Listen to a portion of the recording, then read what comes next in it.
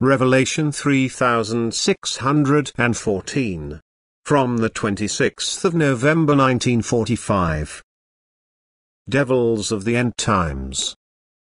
Paradise.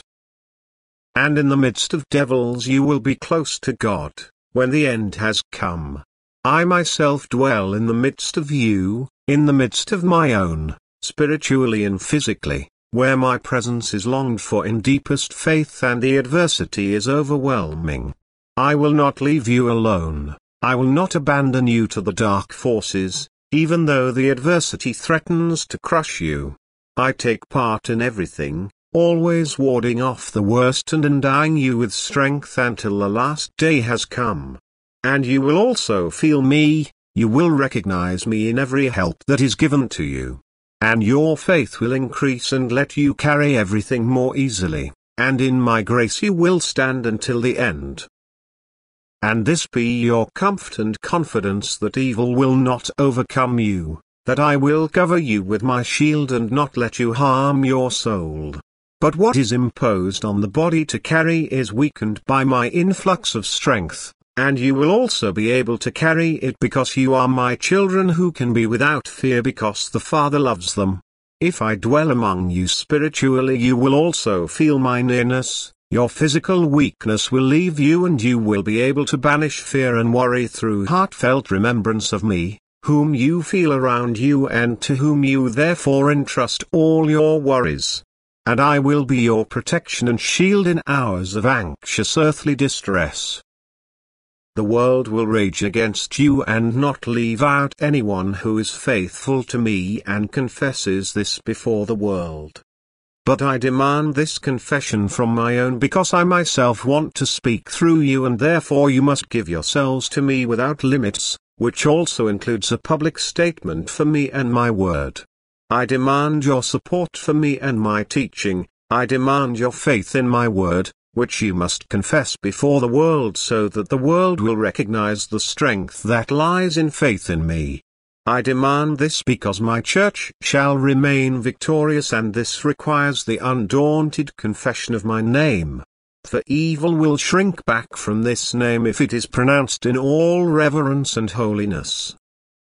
The devils will have to recognize in impotent rage what strength and power lies in this name, and even if they will not stop threatening and fighting the faithful, they will run against the bulwark of faith and finally feel the hand of him who is Lord over heaven and earth. My hand, which executes their earthly destruction and banishes their souls anew, because otherwise an upward development, an improvement for the good, cannot take place. But I have to give the devils free rein beforehand. I must allow them to take action against me myself so that Satan will have tested his power to the utmost in order to nevertheless have to acknowledge my victory. As long as he is not active in all his power he does not acknowledge my stronger power, but this is absolutely necessary in order to submit to my will. Admittedly, this still takes eternities, and therefore every redemption period will end with the binding of the one who wants to outdo me as an adversary. And he must first be able to work in all his power in order to feel his powerlessness when the end has come. But I will always work among my own and they need not fear to succumb to the opposing power.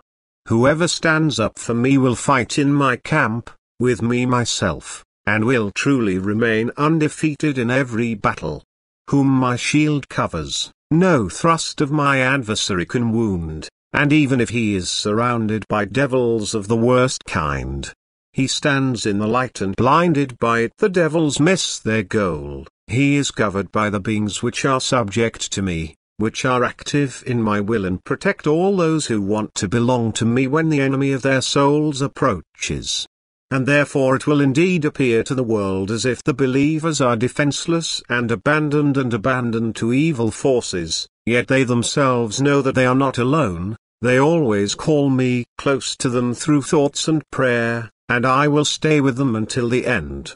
As I have promised.